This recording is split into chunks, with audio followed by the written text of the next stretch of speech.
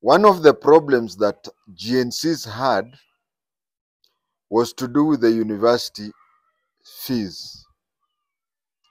And if I had a- access to President William Samoei Arap Ruto, I'd have said that this thing should be properly investigated and the officer concerned should be taken action. Uh, disciplinary, yes. Criminally, maybe. Uh, if evidence shows he had a criminal intention, then it has to happen. Among the things that the Gen Zs were complaining of was that those students who are joining public universities in September of 2024 had received a letter informing them that they were going to join the universities and pay a fee of 300,000 per year. That letter was given to the soon to be freshmen and it was withdrawn. Now, the question is who authored that letter and why did he or she author the letter? Because one of the problems that the Gen Zs have had and with the deadly consequences was because of that letter. Whoever authored it, whoever distributed it. Now, let us not go into the system of saying, I was given a letter to distribute. No. In the police, we have something called disobeying a lawful command. What does this say? It says that if you are given a command that is not lawful, you are not bound to follow it. Now, if you want to tell me that somebody there wrote a letter, gave it to various people, A gave it to B, B gave it to C, and it even reached G. You want to tell me all those people on that line they did not know that this letter was wrong? Now, there are three systems I'll, I'll divide into. There are these students who are joining in September 2024. We have students who joined in September 2023. And we have students who in uh, September 2024, they'll either be on their third year or fourth year in the university. The, the university funding in public universities is in three forms. Those in the third year and those in the fourth year are undergoing a very different type of uh, university funding, of which I will talk about. Then there is those who joined the university in September 2023, and in September 2024, they are going on the second year. They have a different form, and we now have those joining in September a third different form. Let us take those who are going for second year. Those who are going for second year in September 2024. When they joined the universities, public universities, this is how it was. First of all, COOPs. COOPs uh, allocate you a university and a degree. They say, okay, you are going to this or that university for this or that degree. If you don't want to go to that university, or if you don't want to go to that degree, because we have people who are qualified for certain degree, but because of the demand, they were they had to be selected on the second or third selection. Now, if say you wanted to study engineering and you are qualified to study engineering, but then the COOPs allocate several students and the cutoff is above you. For example, you are 3,000 people who are qualified to study engineering, but the, the COOPs can only allocate for 2,000. Yes, you are qualified, but COOPs has not placed there. So you turn to household, you turn to your family, you turn to your friends, you turn to everybody. And you they agree to take you now as a self-sponsored student. If you go there as a self-sponsored student, that is when you pay the whole okay engineering is not 300 300 is for things like uh, is it bachelor of education? Engineering and the medicine is about 500 half a million per year. You get me now you have been called for this degree but you insist you want to go for uh, engineering you want to go for medicine but the COOPs have not taken you. So you go there as a self-sponsored student. Now what problem was brought about by Gen Z or to a deadly problem? One of them was that the letters had been sent to people joining universities and they were told that henceforth you will pay the whole fees. And it was not that way.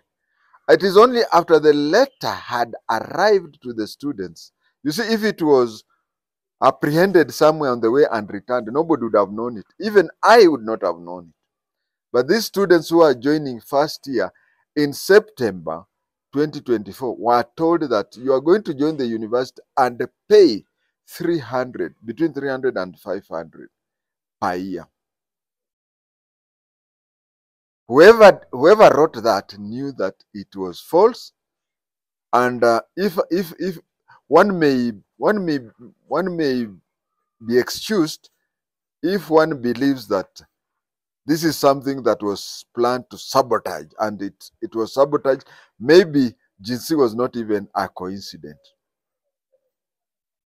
allow me now to talk about the second year september 2024 who are first year uh, september 2024 and with due respect to Kisii University, I want to give an example of Kisii University because I have to give an example of one university. I'm not saying that Kisii University has done that. No, it is only for academic reason. In September 2023, Kisii University invited 8,000 freshmen to join the university. After the registration, after the students have been admitted, 1,000 did not turn up, 7,000 turned up. And I'm only giving an example of Kisii University. Now, we have completed one year. Those 1,000 have not come. Why did they not come? There are several reasons. One I've given maybe the student wants to undertake another degree course from his or her pocket. We have cases of students who are qualified to join universities but decided to go to TVET. We have students who feel that if they continue with their education and they come from poor background, their siblings would not be educated, their parents would not eat. So they decided that instead of going on, th- th- they volunteer not to continue the education so as to look into their family issues. What was the system that was being used by those students who were third year and fourth year in 2024? September 2024.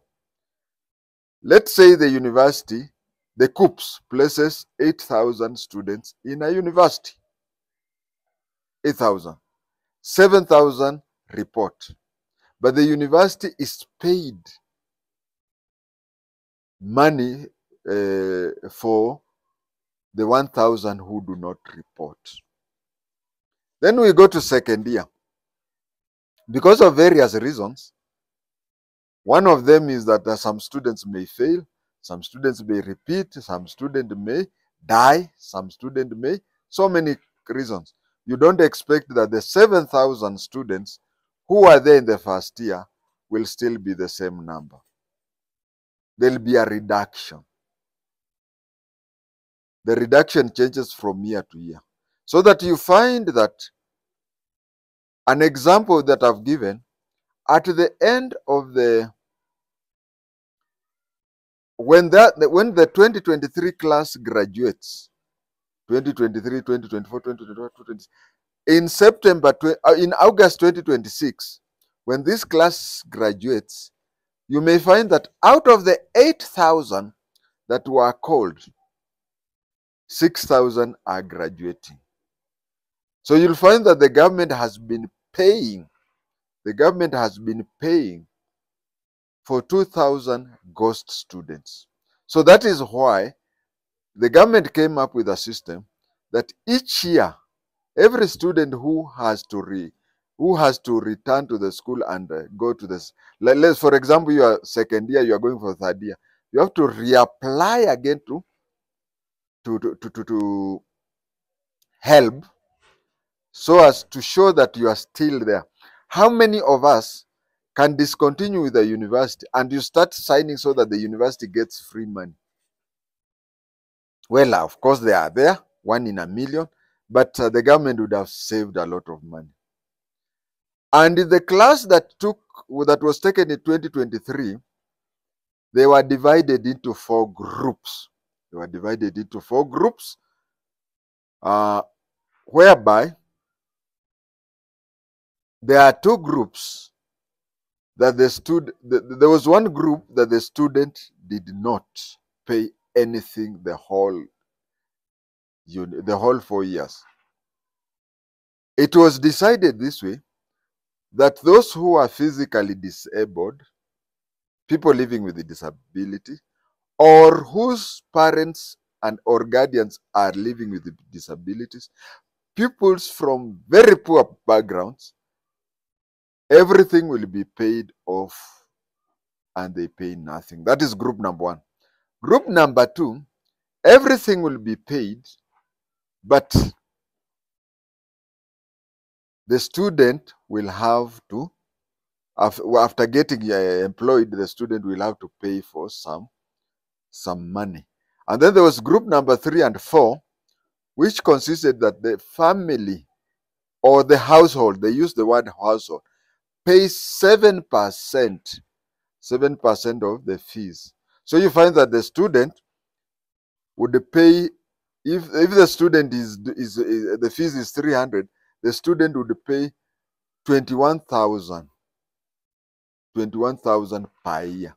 Now the university, you find it is cheaper than secondary school, but the university, there are problems with uh, accommodation, problem with um, feeding and so on. But on the matter of school fees, it is well and okay for all the three.